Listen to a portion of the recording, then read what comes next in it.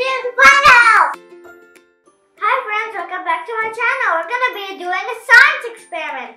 This experiment is called leak-proof bag experiment. For this experiment, we need a big size Ziploc bag like this. Fill it up with water halfway and some colored pencils and make sure they're very sharp like this. And that's it. Let's get started. Let's make a prediction, friends. What what do you think is gonna happen? I think the I think the bags are gonna leak and fall everywhere. In my room, upstairs, downstairs, everywhere. Do this experiment, help ask a grown-up to help you.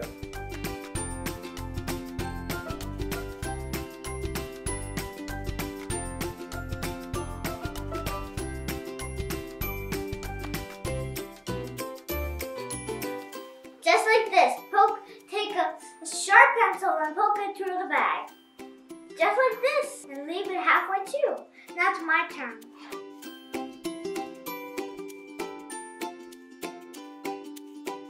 Got it! I did it! I did it! This time I'm gonna do it by myself.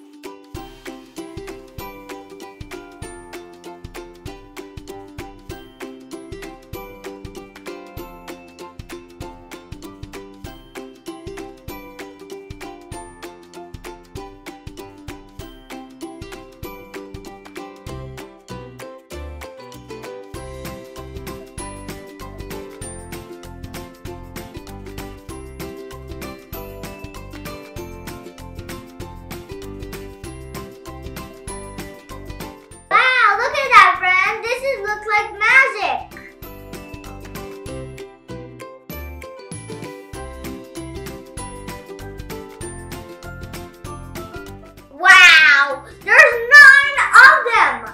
Wasn't that cool, friends? Let's find out how it works.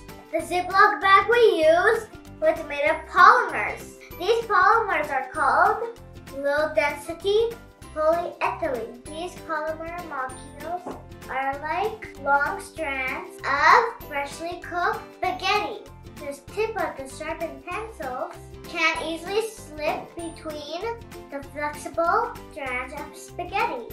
Because of its flexible property, it helps to form a temporary seal around the edge of the pencil. That's why the bag doesn't leak. Just like magic. Not really, it's science. There you go, friends. Hope you enjoyed my experiment. Subscribe and follow me for more videos. Bye! On YouTube. Subscribe for more fun videos.